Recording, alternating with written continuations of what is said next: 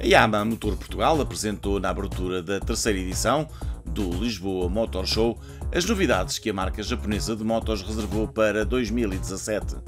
O evento contou com a colaboração muito especial da modelo e blogger Mónica Sofia, dos atores Manuel Sapessoa, Alexandre Silva, Ricardo Trepa, bem como do piloto Miguel Praia e do comediante Nilton, que apresentaram alguns dos modelos em exposição no certame.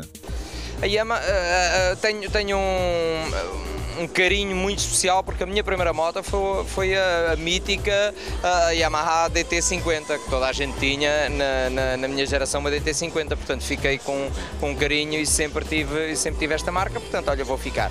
Acho que agora também é até ao fim, não é? Mais de 3 anos também não custa nada. Estou a brincar.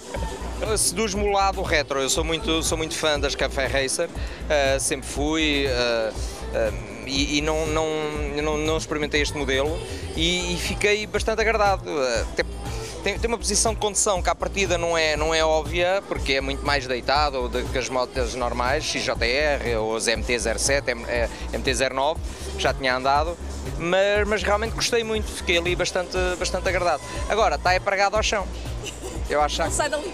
Pá, não, é porque isto é espaçoso, dava para dar uma volta, não percebo qual é a lógica. Com o objetivo de se aproximar ainda mais dos seus potenciais clientes, a Yamaha incumbiu estas figuras públicas, unidas pelo facto de todos eles serem amantes e utilizadores de motos, para falarem sobre o modelo que mais se adequa à sua personalidade. Eu sou fã dela desde a primeira vez que a vi.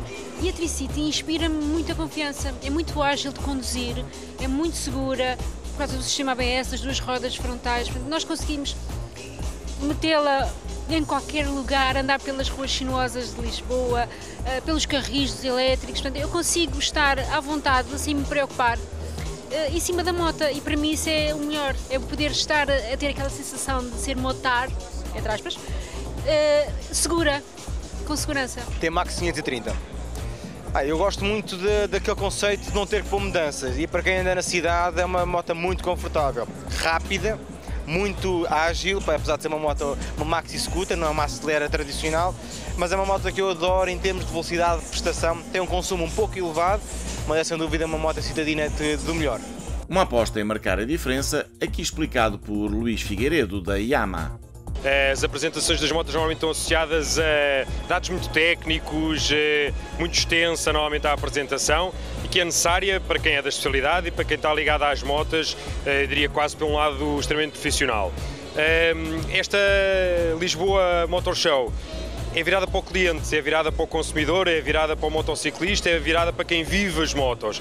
Como tal, decidimos convidar eh, personalidades eh, do nosso Portugal, pessoas que gostam de andar de moto, para virem falar um pouco das novidades que nós tínhamos para apresentar.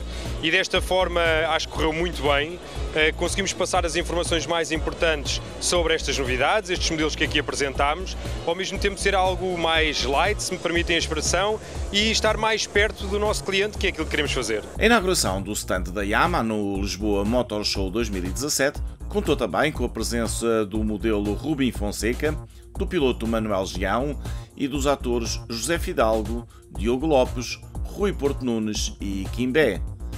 A Yamaha Motor Portugal vai continuar a marcar presença no Lisboa Motor Show, que se realiza até ao próximo dia 9 de abril na FIL, Feira Internacional de Lisboa.